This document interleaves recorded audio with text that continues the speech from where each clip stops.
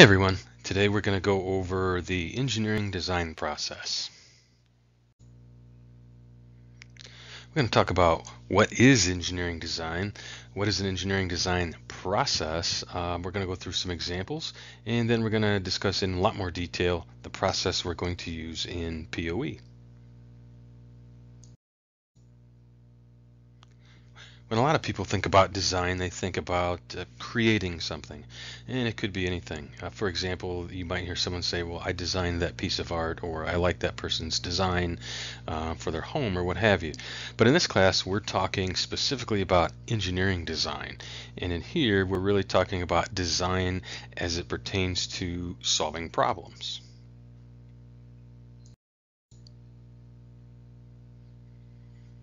Now I like what this slide says about the design process uh, and I would just change it just a little bit.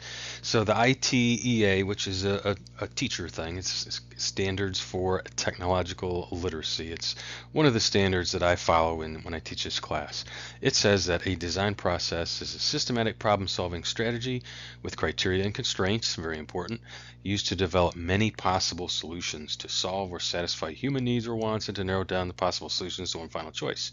Um, Um, I agree with that. I think the only thing I would change is you can really solve anything. It doesn't have to be just human needs or wants.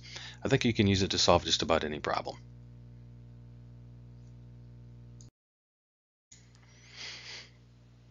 Now there's more than one design process. They share a lot in common and we're going to take a look at some examples now. So here's the textbook, uh, Design and Problem Solving in Technology. Um, it has nine different steps. A um, couple of things. The first thing is you identify a problem, you investigate and you do some research, you generate alternative solutions, model and prototype, and you test. And then of course you can redesign and improve. Let's take a look at some more. Here's another engineering textbook, although this is engineering drawing and design. Again, you can see there are nine steps. You identify the need in this case, not the problem. Uh, you have to understand it. Those two kind of go together. Generate solutions, make a prototype, and test it. So you can kind of see some similarities between the first and second examples. Well, here's another one from ITEA. This one has 12 steps. Again, you define the problem. Brainstorming is really generating ideas, uh, and you combine that with research. You make a proposal, you make a prototype, and you test it. Uh, but here it talks about communicating. So if we take that and have it look a little bit like uh, uh, a little bit more graphic, it kind of looks like this. So you will find this, and we will use uh, a mini version of this in our class.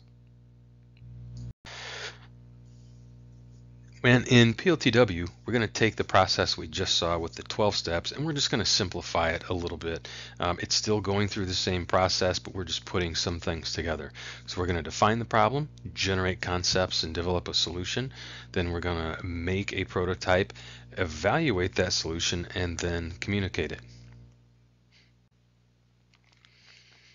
So the design process in POE is an example of one process. So you saw on the other slides that we had seen a couple of processes that had nine steps. So it's an important thing to know that there are lots of different processes that are out there, um, but they do have a lot of things in common. So I want to present this to our class because I want to make sure that we're consistent in what we're doing. So the first step is to define the problem. And well, what does that mean? You have to, first of all, identify that it's a problem, uh, and then we say validate the problem. So who says that it's a problem? Is it just the fact that you don't like the pink skateboard you got for Christmas and you want to make it blue? Well, okay, that's not really a problem. That might be something you want. Um, you want to take a look at is it uh, something that's needed or something that's wanted? And then finally, you also want to look at prior solutions, which is engineering code for does a solution already exist? Can you go to Walmart or Home Depot and buy that solution? Then finally, you want to take a look at is it worth solving? I mean, we could build uh, a ladder to the moon. I mean, we could we could theoretically do that. We can build something that's 250,000 miles long or high, but is it worth it? Probably not. Finally, then you want to look at what exactly do you want it to do.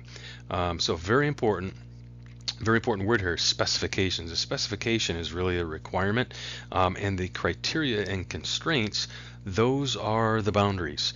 Um, and you have to really understand those to define the problem. In other words uh, does your problem have a weight limitation? Does it have to be less than 10 pounds? Does it have to fit inside a bread box? Um, does it have to go 50 miles an hour uh, as a minimum? Those kinds of things. You have to understand what those are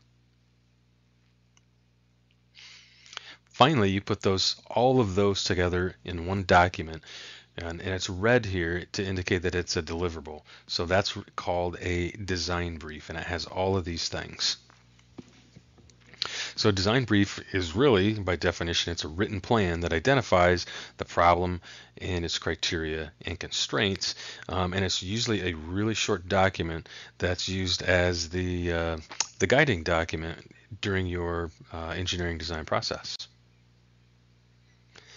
So then we have to ask ourselves a question once we've defined it and we've written our design brief. Um, is the problem valid? Uh, is it justifiable? Um, if it's not, then we really don't have a solvable problem.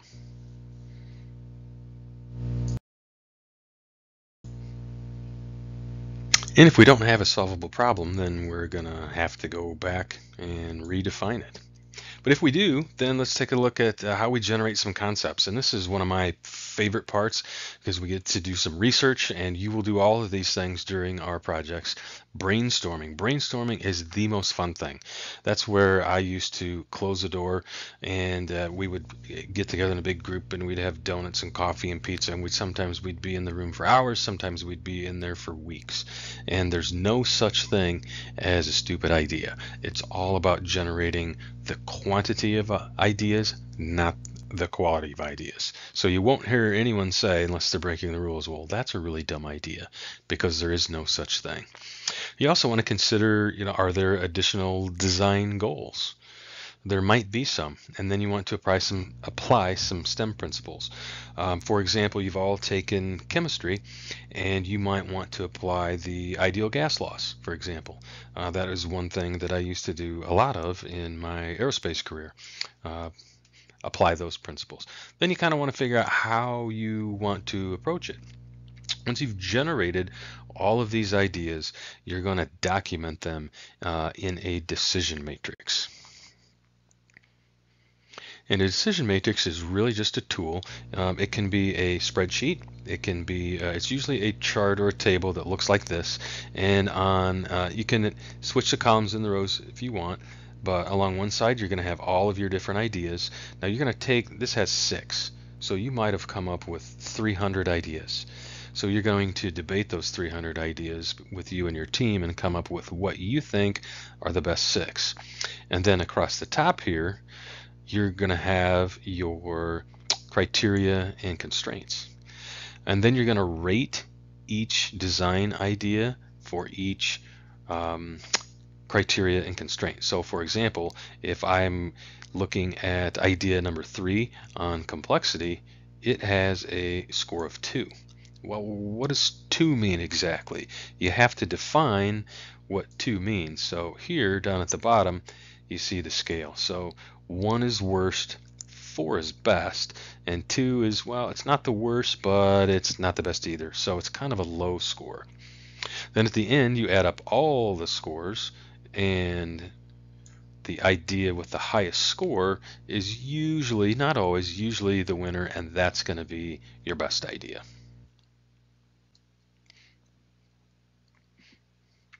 Once you've done that, you're going to want to take a look at, you know, can you really make this thing? You know, you might have uh, something that uh, you might have a software problem. Well, do you know how to write software? And if you don't, maybe you should learn or find someone that does. Um, we can't teleport things yet. You can't teleport a, a box from here to Cincinnati.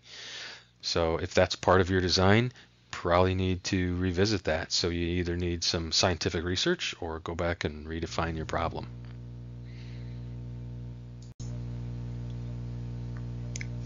Well, once we have a, a, great concept and the technology exists and we can make it, we've defined that problem, we're going to develop our solution.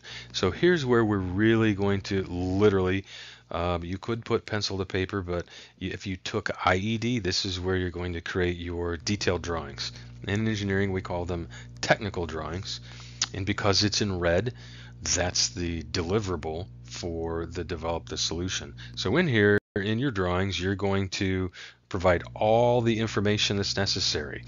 All you're going to provide the provide the front, top, and other views. You might provide cutaway views. Everything required, a complete bill of materials, and even how to assemble it, how to make it.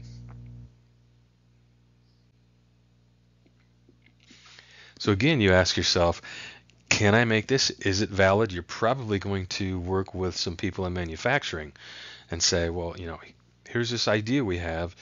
Can can you make this? If they say no, then you are going to have to go back to one of the previous steps and create a new solution.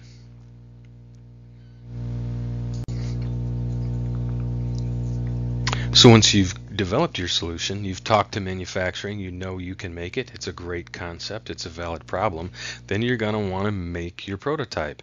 So you're going to have to have a plan for that, and you're going to have to have a big plan for testing. Um, and your testing is going to be tied to way back in the beginning when you came up with your specifications. So it has to be built around your criteria and constraints. Um, if it has to go 50 miles an hour, you better have a test that measures speed. Your deliverable here is going to be uh, a test report.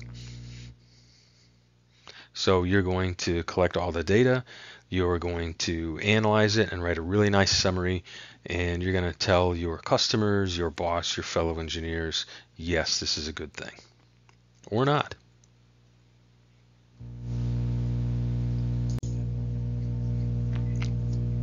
Then you're going to want to ask yourself, is this, after you look at your test results, is this prototype valid? Did it test um, well? Did it pass all of the tests? And if it didn't, then you're going to have to go back to one of the previous uh, steps in the process. And it's important to, to note here that you can go back to step three or step one. You have to figure out which is the most appropriate step. Step five is evaluating the solution. So let's really take a look at it. Was it effective? Did it do what we wanted it to do? Or in fact, can we do better? Um, you probably can do better because nothing ever works the way it's supposed to work when you first make it.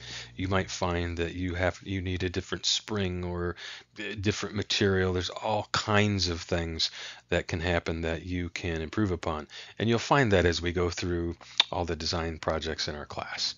Here, the deliverable is the project recommendations report. So that could be in, in various forms, and we'll take a look at that here in a little bit.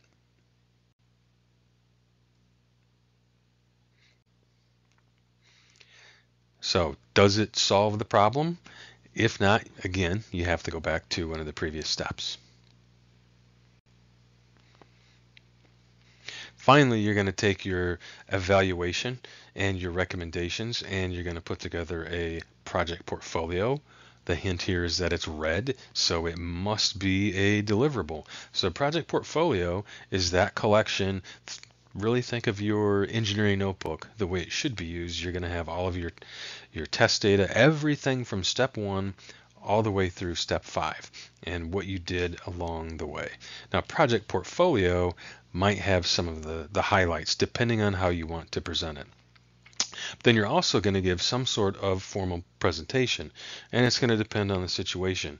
If you are a consultant working for a client, you're going to give that presentation to the client and probably going to be several people in that meeting. Um, or it could just be you're doing a project for your company, in which case you give it to your boss and maybe his boss and so on. One thing that's really, really important uh, and I skipped all the animations here. Really important about this process is if you, you look at it, uh, it looks linear. It's straight up and down, when in fact, I can go, if I find that the answer is no to any of these questions, I can go back to, so for example, if I find after I construct and test my prototype that is it valid? No. I can go back to 3 or I can go back to 2 or 1, wherever makes sense. That's totally, totally up to you. And then finally, after step 6, are we really done? Probably not. And here's why I say that. Think about the car. Think about the just well the society that we live in and, and how the car fits into this process. So we're never really done with the design. If you think about, we all uh, we know Henry Ford. He's the guy that uh, has still has a company named after him, and he created the the Model T back in the late 20s. Well, do we still drive Model Ts? No, absolutely we don't. That's because we've continued uh, to improve upon that design. So he's innovated that product, and we didn't just jump from the Model T to the Taurus or a minivan. There were a lot of little changes along the way, lots and lots of problems to be defined and solved. So product design in the real world isn't just something that's one and done. It's a continuous, continuous process.